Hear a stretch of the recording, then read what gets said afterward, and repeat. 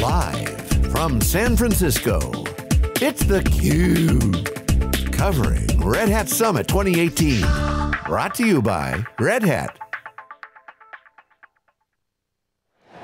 Okay, welcome back everyone. Live here in San Francisco, California at Moscone West is theCUBE's exclusive coverage of Red Hat Summit 2018. I'm John Furrier, your co-host with my co-host John Troyer, co-founder of Tech Reckoning and uh, it's an analyst firm and community development advisory. Our next guest is Stormy Peters, Senior Manager, Community Leads at Red Hat. Welcome to theCUBE. Good to see you again. Yeah, good to see you too. Thanks for having me. So obviously the success of open source is grounded in community. We love talking about community and there's a lot of new things happening, new dynamics that are somewhat similar to what's in the past, but a new generation is coming into open source. It's clear by the growth. I mean, go to any, any event, you know, just at the Linux Foundation event, Jim Zemlin's always at the slide up, exponential growth, more code coming in.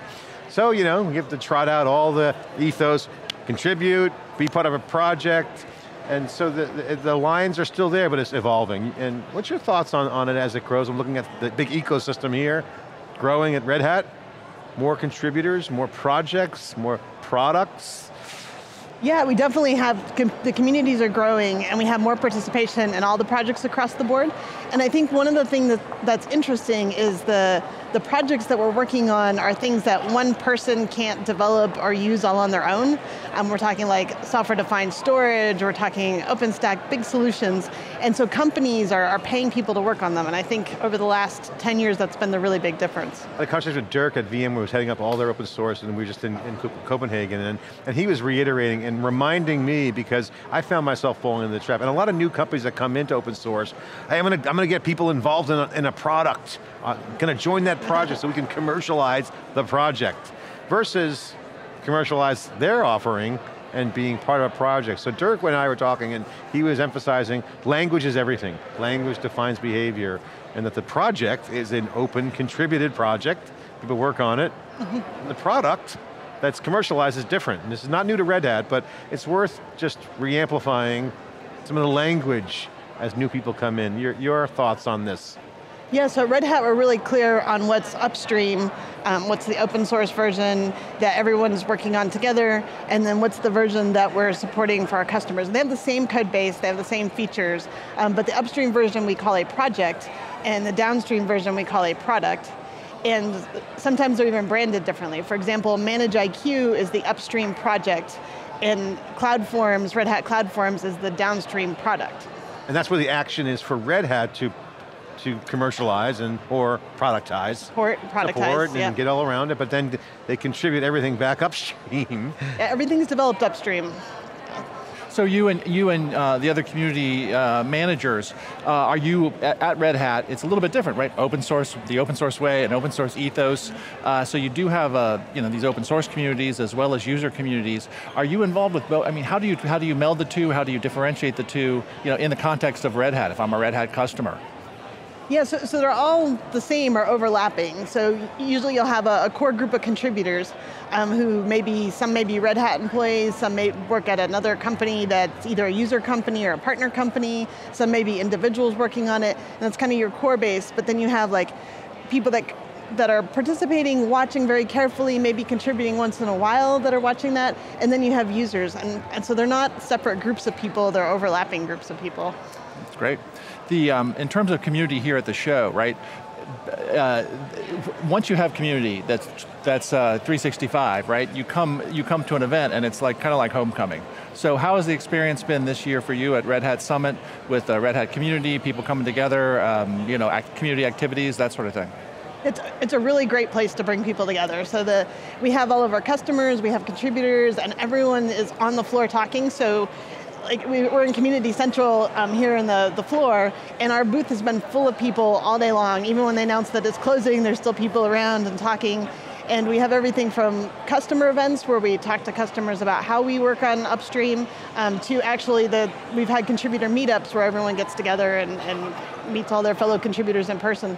How do you guys handle the growth? Because you know, with, with growth you have still new ideas coming in. So you want to keep an open, inclusive environment. Is there any new things you guys are doing to make sure all the best ideas are being surfaced up, or is it uh, the same uh, program, seems to keep going that, that way? So I think I think the best projects evolve over time. So we're always looking at the governance of a project and does it fit where that project is right now.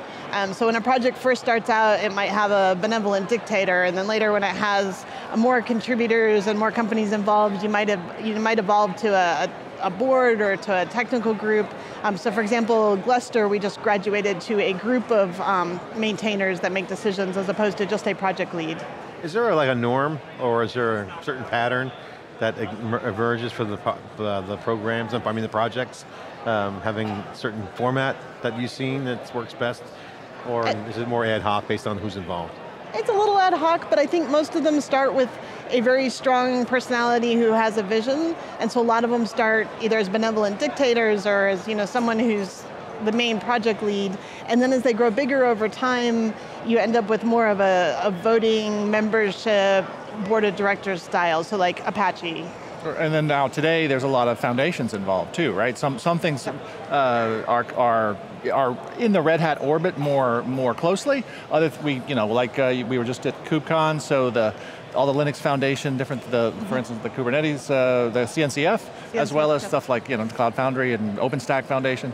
So I mean, can you talk a little bit about the role of foundations now in modern uh, community and social open source? Yeah, I think it's, it's part of this evolution from all the contributors we're working as individuals, which they still are, to companies being able to, to pay for people to work on these projects. And so the companies want to not just give people time to these projects, they also want to donate um, money and pool their resources to do joint marketing or to push Kubernetes forward. And so organizations like the CNCF, the Linux Foundation, enable those companies um, to work together more effectively. CNCF's done a good job of balancing, I mean, they got a lot of logos, I mean, a lot of people paying them money, so there's a commercial aspect, but they've been very uh, transparent about, they're trying to create a great core community, and they've separated the technical steering committee from mm -hmm. the mm-hmm. membership, which is smart. Most of the foundations are really good about leaving the technical steering committee to work as it's worked well in open source, and then having the companies pool their money for, for marketing or, or for filling in the holes where they're not getting volunteers. Stor go ahead. No, go ahead. Oh, well, Stormy, I just wanted to extend the, the governance conversation a little bit to, uh, to culture as well. Um, the, I mean, we're, we're in an interesting place, again, in 2018 in our bigger culture. Uh, those of us who've been involved in online culture and online communities, we know the ways these things can go wrong. Um, and we've seen it you know, how, how do you, uh, as an individual and, and your team, uh, develop and, and foster a, inclusive and uh, participatory culture in, your, in the communities of Red Hat? I, I, think you said we've all seen things go wrong, but I think we also have a lot of experience now about how to foster the culture that we would like and how to include people. Um, so you're seeing a lot more efforts like most online communities are, are, pretty nice places to hang out these days, and you're seeing a lot of effort to make sure there's code of conducts for the projects, that there's code of conducts for the events, um, that people are welcome. There's a diversity event tomorrow here. Um, so I think we're seeing a lot more inclusiveness and a real effort to, to bring people in. You guys attract a younger demographic. We were talking earlier um, with Denise, mm -hmm. uh, and because of its open source, you got academic. You uh -huh. know, uh-huh. it can go in high school, you're seeing everything from robotics clubs to you know coding early on.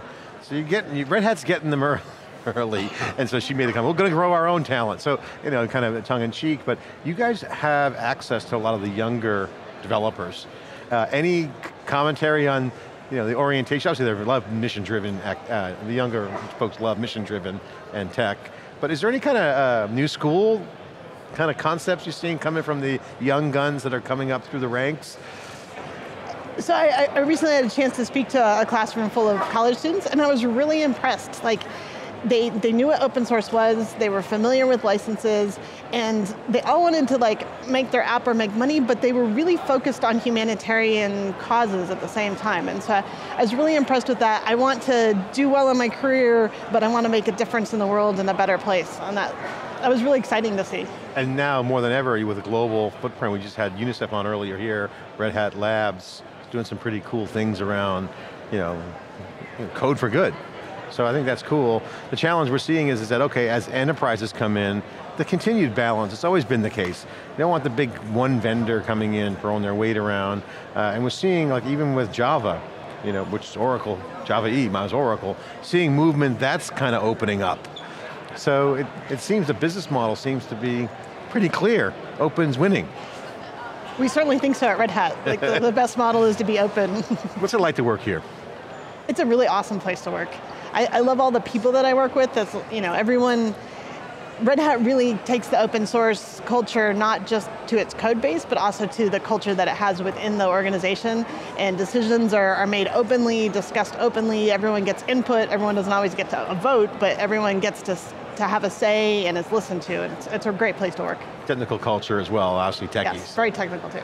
Yeah. As the as the ecosystem grows, right? The, there's obviously a lot more participants in the community, and so um, if a company uh, wants to get involved, either say like in the Kubernetes community or in the OpenShift community, you know, what's the right way for a company to come in and participate in that kind of a community, uh, and, um, and and maybe what what are some wrong ways? Uh, if, if, a company wants to get involved in the community, I think the first thing they do is find them online, right? Are they on IRC talking? Are they on Slack talking? Join the mailing list. Um, go to whatever events are local to you, your local meetups, go to the big events if you can, um, and just put people on it, people that, that know what you're trying to do with it and, and can contribute, you know, either with getting started documentation or with bug reports. Um. Yeah, I think it does have to come down to the people. You have to send yeah. actual people in. It can't yes. be some sort of corporate motion, and uh, uh, in some ways community is all about people and making connections. It's absolutely about people. Sorry, talk about your experience this year, Red Hat Summit. Obviously the numbers are bigger. They're getting great, uh, the company's getting great reviews from financial analysts. Uh, OpenShift has been very popular. Some of the, obviously this is with Kubernetes has been phenomenal. Op OpenStack's got a bunch of life into it. You're seeing separation. Clear visibility now on how things are kind of clicking together on the app side. CoreOS is in. Uh, it's just interesting, right? It's just Red Hat's kind of going to a whole nother level. What's the conversations like here inside the hall? People who aren't here watching, uh, didn't have a chance to come. What, what's, what's the main conversations, the chatter? What's been the focus?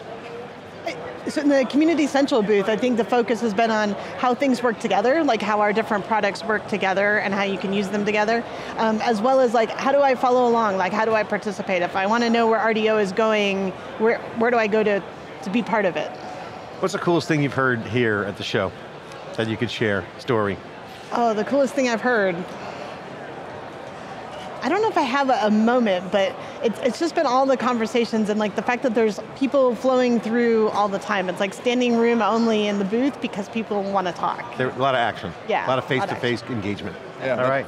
Oh, I, I, do have a story. So we had, um, we taught these, uh, these Red Hat went to Boston and taught these middle school girls how to make cameras out of open hardware and open source software. Has anyone talked to you about this? No.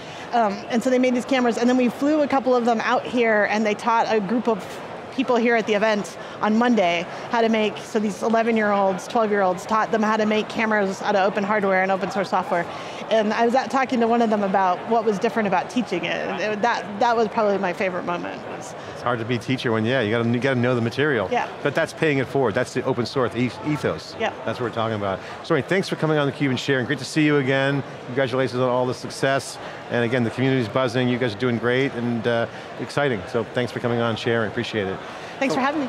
Live CUBE coverage here in San Francisco for Red Hat Summit 2018. I'm John Furrier, John Furrier. Stay with us. Day two coverage continues for three days of coverage after this short break. Be right back.